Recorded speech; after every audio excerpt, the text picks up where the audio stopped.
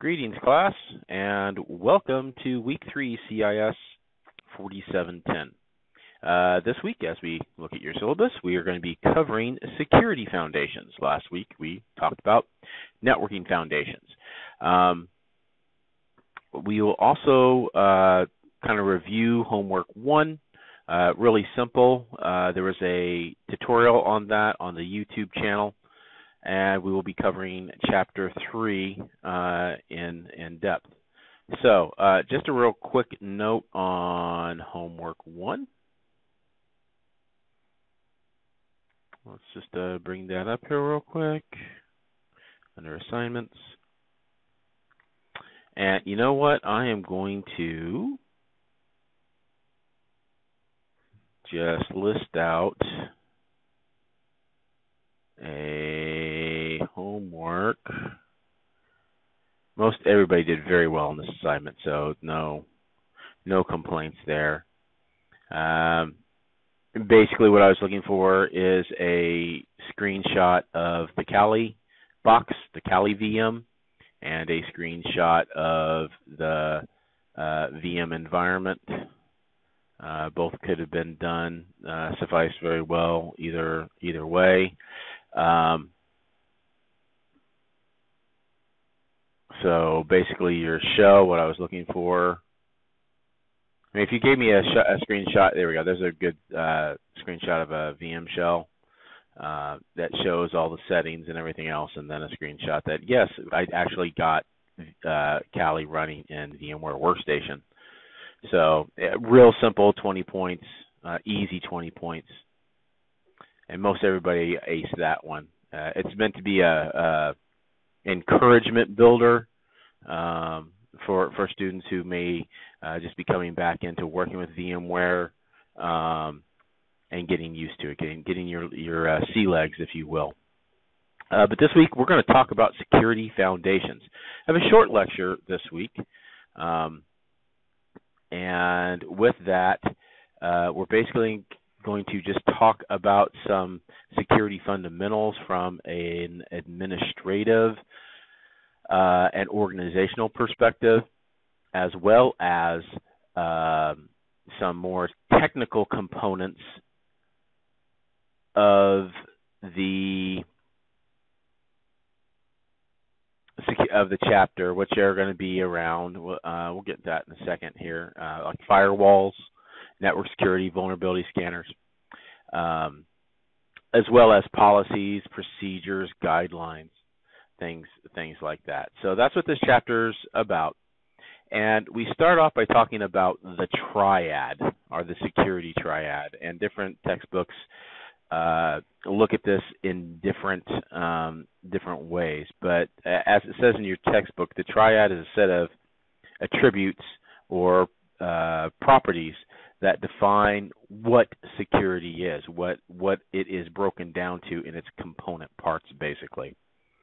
The three areas that they talk about are confidentiality, integrity, and availability.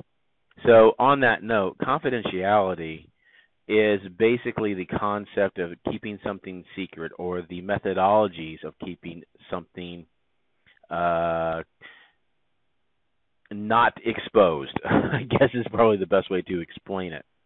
Uh, they go through several examples in your textbook, but confidentiality is basically revolves around encryption and encryption me- mechanisms and keeping um, keeping secrets safe, uh, so to speak. Integrity uh, is a very hand in hand component with confidentiality, and that is to make sure that something has not changed. Integrity is the ability to ensure that you have um, the authority, for lack of a better term, uh, to lock something down that it cannot be modified. So it has to deal with modification. Confidentiality is to keep it secret, keep it safe. Integrity is to ensure it's not changed. And those are the two that get confused the most out of the triad. Availability is pretty simple. Is it there? Is it available? Can I get to it? Um, is it up and running? And, and availability uh, deals a lot with ensuring that denial of service attacks don't happen, ransomware attacks don't happen, um, and the like. So, out of the three, availability has always been the easiest to explain and convey. You will see definitions of these three on uh, your midterm and probably on your final as well. So you need to understand uh, and identify all of them. Now let's talk a little bit about expansion of the triad. So that's those three areas are really good for uh, a baseline foundational explanation of security, but it's not everything.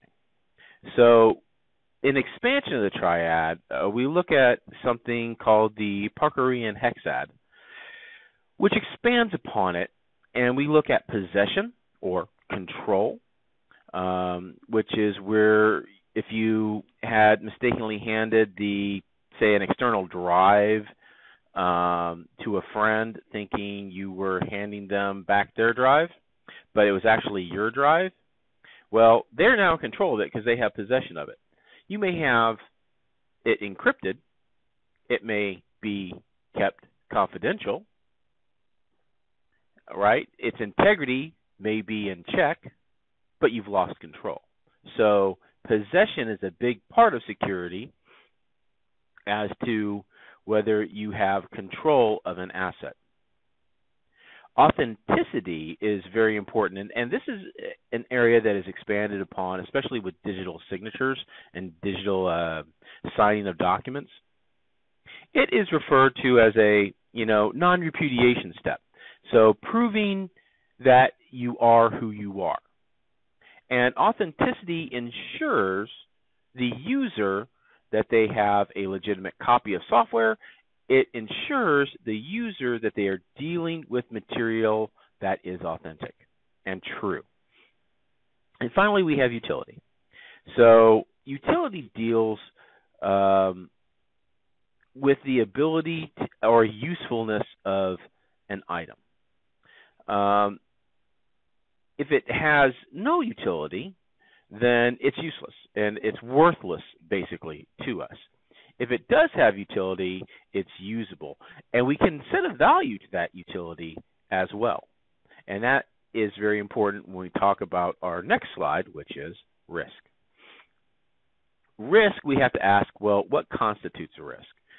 Risk is all about loss. And if uh, and the potential for loss. Let me let me put it that way. The potential for loss uh, basically is a calculation, and and we have this in our 4670 class where we go through entire risk calculation models and single loss expectancy and annual rate of occurrence, et cetera, et cetera. We we don't go into it in that in depth in, in, in this course, but it is imperative that we understand that it is out there and that we test it. So, what constitutes a risk?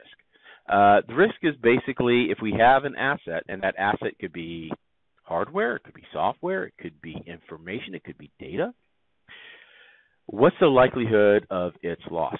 What's the probability of its loss? Right?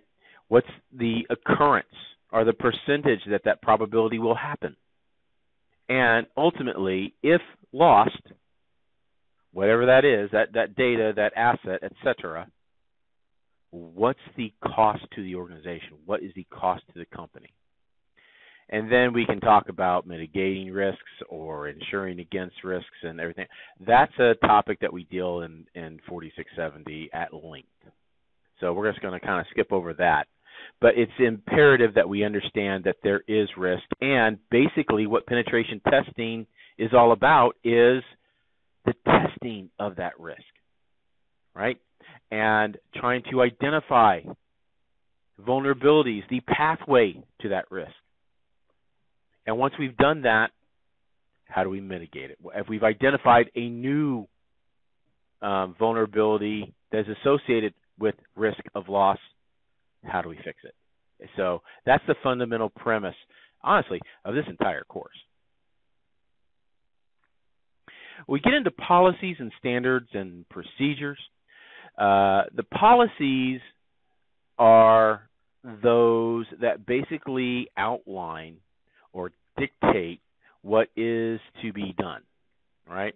And a security policy is basically a statement of intent with regards to the resources of an organization and how it's going to deal with threats.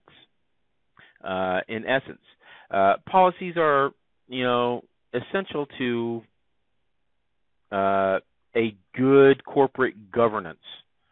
And since the policies are uh, basically lines in the sand, basically, for um, drawing boundaries as to what is good practice and what is poor practice. These come from standards.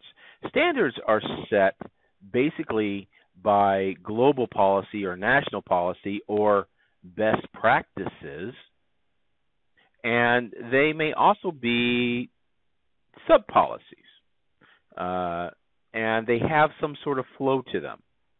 Uh, and they look at basically how standards can be applied to multiple industries. So uh, a lot of good standards, uh, especially security standards, um, uh, they're sets of standards that provide guidance for an organization, like NIST standards or ISO standards or PCI standards. Procedures are your step by steps. These are individually written on a uh, company by company, organization by organization basis. And you take that information from the policies and the standards and you put these steps in. And they are modified consistently, uh, constantly. Uh, because as you find better practices, as policies are changed, you might find better ways to build the mousetrap, right? You always find a better way to build the mousetrap.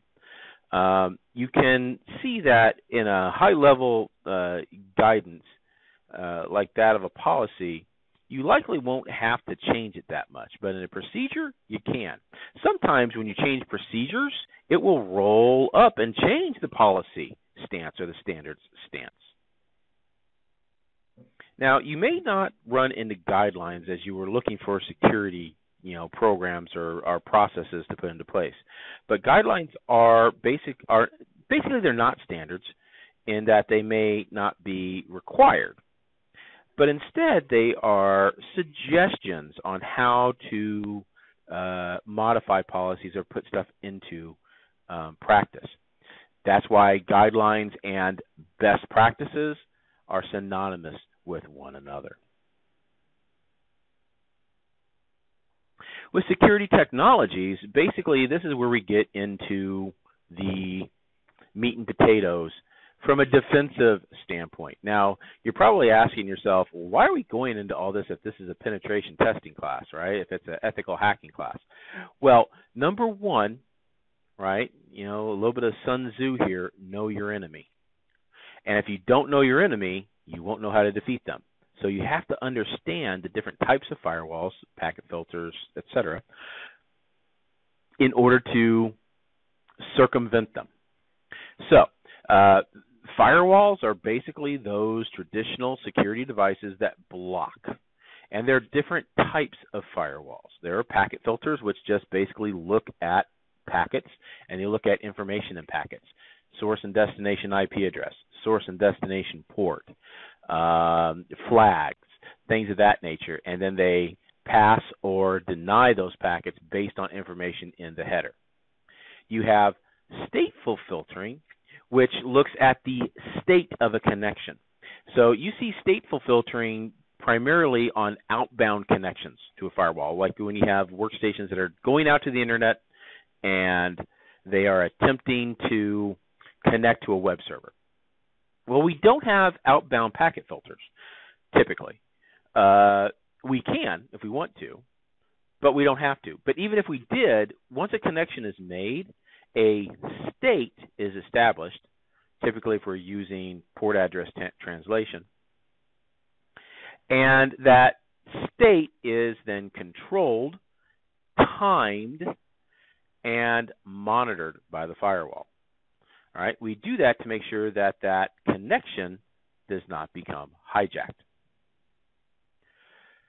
Deep packet inspection is used uh, as a next generation or uh, advanced generation firewall uh, tactic where we look past those headers. We don't just look at the information inside an IP, a TCP, a UDP, an ICMP header.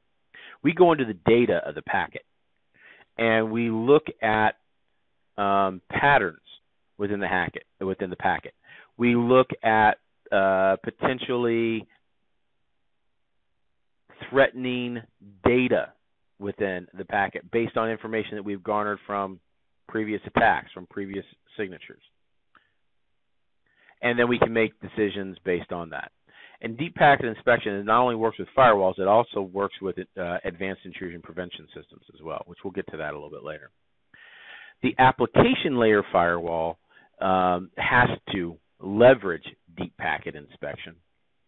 And um, it will work basically as a WAF, a web application firewall, and allow or disavow uh, connections based on a lot of different information. It could be DNS information, it could be domain, it could be um, uh, data pattern information. Uh, it, it could be a lot of different things that you can define and this all comes into unified threat management. Unified threat management is a concept of an overarching architectural security design that um, leverages multiple assets into a security um, concept or security domain. Typically, at the center of that is going to be your firewall and intrusion prevention system. But they may port a lot of the data from these different assets, these different appliances, your WAFs, your load balancers, your firewalls, your endpoints, uh, your endpoint uh, protection, to a centralized management um, console. And that console takes all that information, uh, analyzes all the data, and then can make suggestions or even take action uh, based on the threats or potential threats that are being presented in the environment. Uh, going on further, uh, it's also uh, good to understand intrusion detection systems, intrusion detection systems versus intrusion prevention systems. Intrusion detection systems are older. They are based on um, signatures uh, they can come in two flavors network based or host based. Network based means you have a sensor that's out there that is pulling in packets from a mirror port or an RMON port and a remote monitoring port. And they then basically look at header information. They only look at header information and then can make a determination as to a potential attack based on a signature. Signatures are come in two flavors atomic or composite. Atomic signatures, basically, you're looking at one single packet, right? Or composite signatures, where you're looking at a string of, of packets within a TCP stream. An intrusion prevention system, or sometimes referred to as IDS Plus, does everything that an intrusion detection system does, right? But it improves upon it it can look at behavior or heuristic um, information.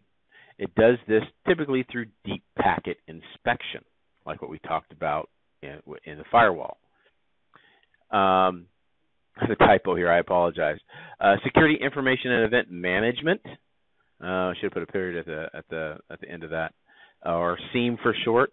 This is a, a data collector. So um, SIEMs like Alien Vault, a modified version of Splunk um, and uh, QRadar. There's a lot of ones out on the market.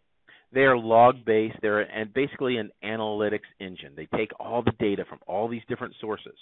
They can take it from firewalls and IPSs and hosts. Uh, typically, from hosts, they're going to take it from event logs or Linux logs and um, uh, mesh that together, and then they come up with an analysis. It's very processor intensive. Uh, it is the basis a lot of times for um, AI uh, in security, and or what they refer to as big data in security. This is where you get into those concepts uh, within this field because you just are getting just a massive amount of information and data from all these sources. And the larger your organization, the harder it is to see because there's just a lot of noise. If you can imagine uh, these systems having to collect all this information, and as you turn the sensitivity up on them, uh, it's harder to manage. But if you keep the sensitive sensitivity too low, an attacker may be able to circumvent the security systems. So it's a fine line here uh, within the defensive parameter as to uh, detection versus performance and how well you want to be able to detect a threat. And this goes directly to a lot of tactics that offensive security professionals have to employ by thoroughly reconning an environment before pulling off or attempting an attack. And hackers, same kind of concept. So, from the defensive side, it's all about being prepared. Uh, defense in depth, the layers of your defense. So, have a firewall, have an intrusion prevention system, have a, a SIEM, have log monitoring, have uh, all these different layers. And then defense in breadth, how wide that you go with your defensives, and basically how sensitive you make them. Uh, that is going to depend a lot on compute. Uh, it's going to depend a lot on performance, how much performance hit you can take, and also uh, it depends on how uh, well uh, or how many personnel in your security department can actually put eyes on these systems. Now remember, these systems can be very intelligent, but at the end of the day, it's a human that has to interpret uh, is it an is it an attack? Is it not an attack? Did an attack occur? Did it not occur? And that's when we get into the log analysis and auditing portions of security, because this comes after the fact. So after an attack happens, whether a breach occurred or not, and remember, attack is an attempt. A breach is an actual, oh, something got stolen, something got um, owned. And then the auditing can be done in two different ways. You have forensic auditing when after the fact when something bad's happened or you just have normal auditing where you're just checking to make sure all of these systems, all of these controls are in place. Right? And then log analysis does both. It, it looks for the attacks, uh, either uh, confirms or denies them, uh, or it's a forensic tool with um, digital forensics as a, um, a supporting piece of data analysis. So, in summary, for this week, uh, know the concepts uh, as we talked about them. Know the triad: confidentiality, availability, availability, and integrity. Know all of those very well. Uh, know the difference between defense in depth, how many layers you have, and defense in breadth, how wide you go, how sensitive you make uh, all these controls and know the different technologies, your firewalls, your intrusion prevention systems, your intrusion detection systems, your logging, your SIEM, etc. So that's going to wrap it up here for chapter 3. Uh, going back to the syllabus here real quick. So it looks like homework 2 is due next week, as is lab 1. Uh, I have a walkthrough for Lab 1 already uh, online. I'll make sure that that is uh, good to go. And I will be going through that uh, here as well. Uh, homework 2, we can take a look at that real quick. Homework 2 is pretty simple. from a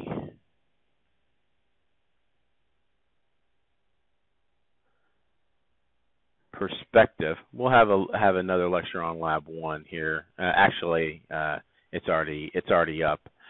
But uh, homework two, basically, you do a ZenMap Nmap scan, and you make sure that your OpenVAS NVT database is up and running. Uh, that'll automatically happen when you install OpenVAS. So you have to go through the steps of installing OpenVAS. So I think I believe I believe I have an example of that as well uh, on the YouTube channel, so you can look there uh, for for help if if need be. But basically, I'm just looking for the screenshot of your ZenMap Nmap scan of uh, your target, which is the Windows box, and the um, OpenVAS scan uh, as well. Actually, uh, let's before I misspeak here.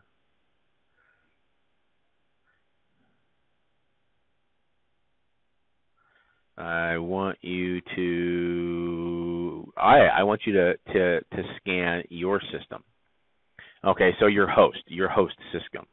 Not not the Windows box, not the VM that we have in Lab 1, but your host system. Now, uh, piece of advice, very important. So listen up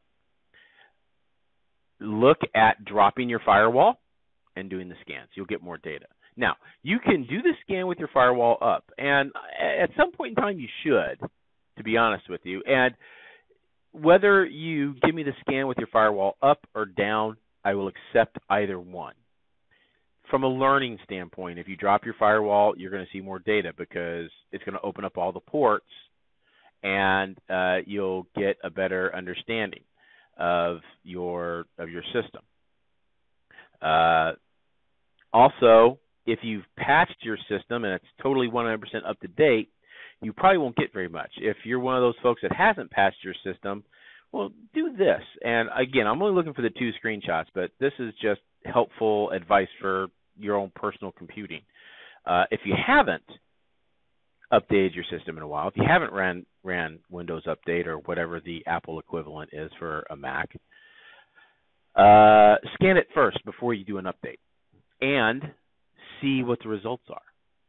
Okay, it's just kind of interesting. It's one of those geeky things that uh, security nerds, you know, look at from time to time, and it gives you a better understanding if you ever see that in the wild uh, again.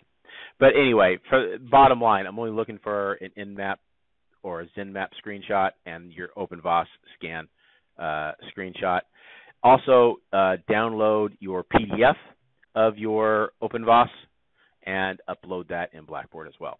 So that's going to do it here for uh, this week, week three in 4710. Uh, we'll see you guys around and have a great week.